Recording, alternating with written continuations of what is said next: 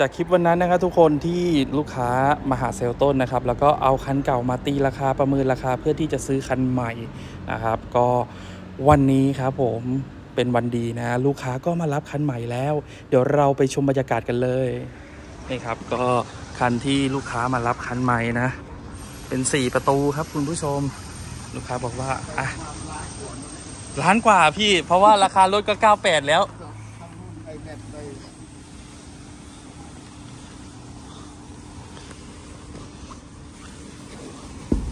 ซื้อคันเก่ายังไม่ถึงขนาดนี้เนาะพี่เนาะนั้นเท่าไหร่แปดแสนเจ็ดแสนกว่า ครับ อะเดี๋ยวพี่ยืนตรงนี้เลยครับ เดี๋ยวพี่ยืนคู่กันเลยครับ โอเคครับ อะเดี๋ยวมองกล้องนะครับพี่ยิ้มนะครับหนึ่งสอ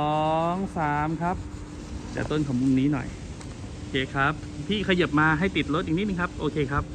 หนึ่งสองสามครับยกนิ้วโป้งครับหนึ่งสองเดี๋ยวพี่ผู้หญิงเอามือลงนิดนึงโอเคหนึ่งสองสามครับ โอเคครับผม มา เดี๋ยว ผมพาดูตัวรถเนาะก็เป็นรุ่น ZP เนาะพี่ที่พี่ซื้อคันใหม่เนาะเป็นรุ่น ZP แล้วก็เป็นเกียร์ธรรมดา แล้วก็ล้อ TE 3 7หยอดแดงเนาะพี่เนาะยางเลนโซ่ลาย 420น็อตเดิมครอบดุมดำแล้วก็ครอบดิสแดงเนาะ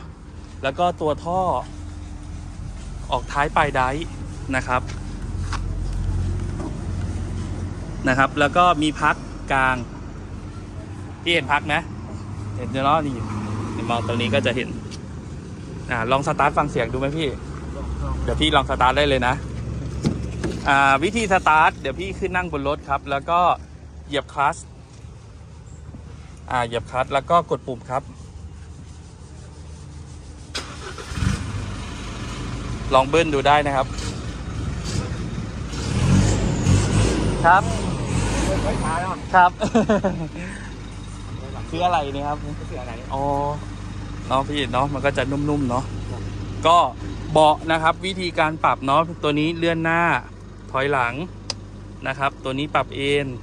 นะครับ ตัวนี้ยกเบาะขึ้น กดเบาะลงครับแล้วก็ใต้รองหัวเข่ากดลงงัดขึ้นนะครับ แบบนี้ปกติเลยเนาะเดี๋ยวพี่ขึ้นนั่งด้านบนครับ เดี๋ยวผมอธิบายเรื่องแอร์อันนี้มันประมาณอะไรครับต้นไม่รู้ราคาเลยครับทำไงเนี่ยครับ เดี๋ยวขึ้นไปข้างบนเนี่ยโต๊ะแรกที่ผู้ชายนั่งอยู่ครับนี่อันนี้ลูกค้าเอาท่อเดิมกลับนะ อันนี้ไม่เทิร์นเลยนี่ท่อแคทอะไรก็อยู่ พี่ลองเช็คเงินในมือถือนะ มีแอปอยู่ใช่ไหม เขาโอนให้แล้วเมื่อกี้นี้ อ่า นี่ครับ ก็แอร์เนี่ย เวลาเราปิดเนาะพี่เนาะ เรากดปุ่มตัวนี้หนึ่งที เวลาเปิดกดตัวนี้ครับอุณหภูมิสองฝั่งเนี่ย เราปรับให้มันเย็นไม่เท่ากันได้นะครับ ก็คือถ้าสมมติมีภาษาอังกฤษดูโอขึ้นเนาะสองฝั่งจะไม่เท่ากัน แต่ถ้าสมมติเมื่อไหร่อะไรหายไปปุ๊บ มันจะขึ้นมาเท่ากันเนาะ เอาไว้แบบว่าเผื่อบางคนชอบเย็นมากเย็นน้อยไม่เท่ากันเนาะพี่เนาะแล้วก็เวลาถอยนะครับ ก็จะมีกล้องติดเหมือนคันเก่าเลย แต่ว่าคันเนี้ยนะครับพี่จะไม่สามารถใส่แผ่นซีดีได้แล้วพี่อาจจะเสียบเป็น USB ตัวนี้เอา หรือต่อบลูทูธที่ตัวเครื่องเอาเนาะก็คือจะใช้เป็นระบบแบบนี้ เพราะว่าซิรุ่นใหม่ CD จะยกเลิกหมดเลยนะครับ เก๊ใส่ของทุกอย่างนะพี่นะ กดเด้งทั้งหมด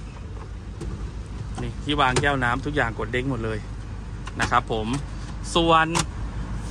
ตัวนี้จะมีระบบช่วยลงเขาหรือลงทางลาดชันนะครับพี่เดี๋ยวนี้ผมใส่ในเก๊ให้ลงเขาหรือทงทางลาดชัน สมมุติว่าเวลาลงทงเขาชันๆแล้วกดตัวนี้หนึ่งที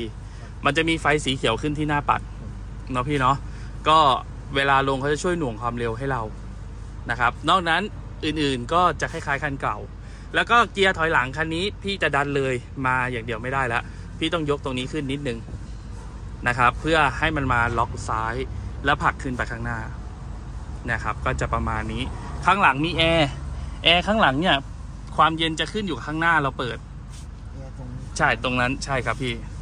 พวงมาลัยที่งัดข้างใต้เหมือนคันเก่าพี่เลยครับนะครับ แต่ว่าอันนี้สามารถที่จะดึงเข้าดึงออกได้ ก็จะมีได้สี่รูปแบบนะครับ พี่ลองงัดดูมันจะมีที่งัดอยู่ข้างล่างตรงนี้ครับตรงนี้ใช่ไหมอ่าใช่ครับ งัดจากข้างหน้าลงไปครับพี่ อ่า ดึงเข้าได้นะ ดึงเข้าหาตัวครับ อ่า ดึงเข้าได้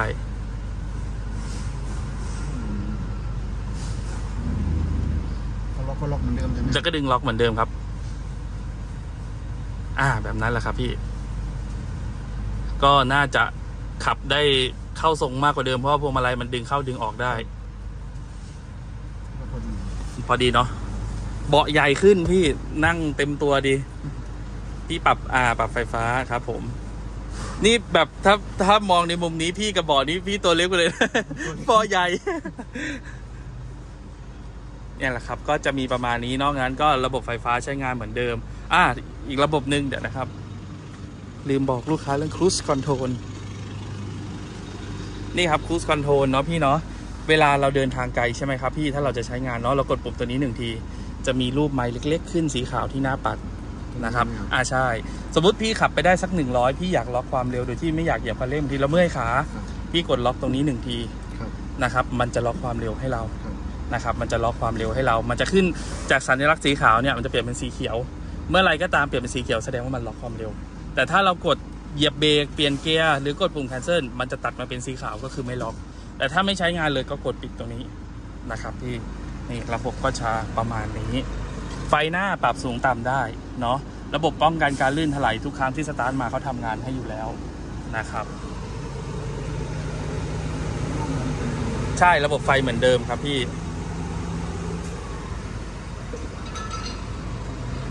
โอเคครับ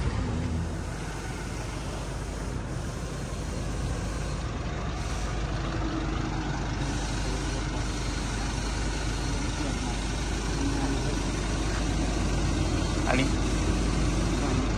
นี่ได้ไหม ได้พอดีเลยครับพี่ ถ้าแบบนี้ไม่หล่นหรอครับพี่ นี่แล้วก็เอาไปเลย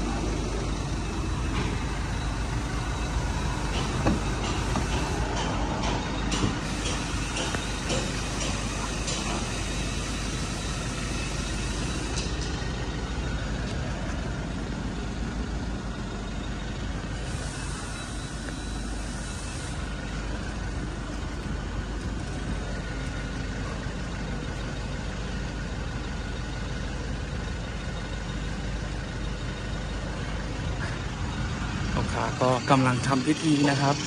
ใกล้จะได้เลิกแล้วมาเดี๋ยวต้นเก็บผ่าน อันนี้ผ่านเดี๋ยวต้นเก็บให้ก็ได้ครับพี่โอเคมา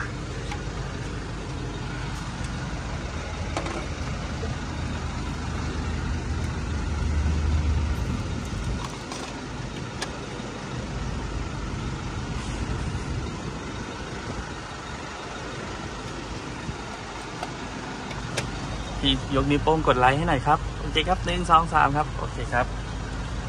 ไม่เป็นไรครับพี่ เอาวางไว้นี่แหละ ไปรับเขาแล้วก็ไปทำเรื่องรถเครื่องอีก อ๋อเหรอครับ ได้ได้ครับพี่ขอบคุณมากเลยนะครับเลยนะครับ ยังมีอะไรจะติดต่อไหมได้ครับพี่ ขอบคุณค่ะขอบคุณครับ เดินทางปลอดภัยนะครับ ค่ะ